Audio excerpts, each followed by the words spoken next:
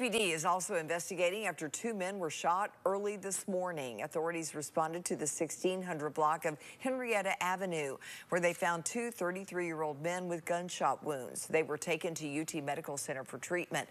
Officers say a dispute during a card game led to that shooting, adding there's no connection to that shooting uh, to the one on Gilbert Lane that we just told you about. We're told a number of people are being questioned right now, so so far no charges have been filed.